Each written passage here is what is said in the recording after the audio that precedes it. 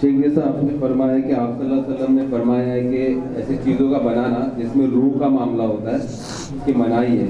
तो अभी मैं जो बिज़नेस करता हूँ, वो बच्चों के गारमेंट्स का रेडीमेड गारमेंट्स का तो उसमें कार्टून्स के या ऐसा कुत्ता बिल्लियों की मतलब पिक्चर्स आती है। और जो हमारे खरीदार है कस्टमर्स है वो मुस्लिम भी है गैर मुस्लिम भी है। तो उस चीज़ की तजारत करना कैसा है? देखिए हदीस में ये वाज कर दिया गया है कि अगर कारोबार करना है तो ऐसी चीज़ों को अपनी इस सलाहियत का इस्तेमाल करें ऐसी चीज़ों में कि जिसमें रूह नहीं है। अगर रूह की शक्ल, रूह वाले की शक्ल अगर उसके अंदर आती है तो उससे बचाएँ।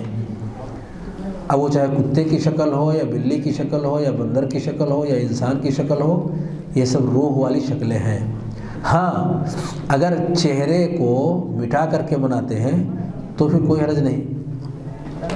चेहरे को मिटा करके अगर बनाते हैं,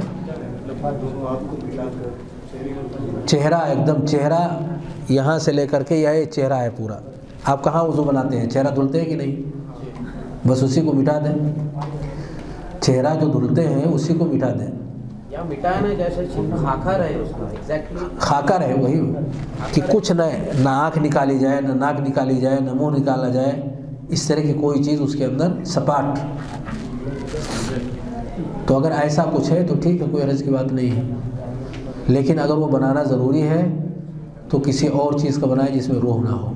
खिलौने उसी जिम्मे में आएँगे? जी उसी में आएँगे। खिलौने भी सारी चीज़ें उसमें हैं।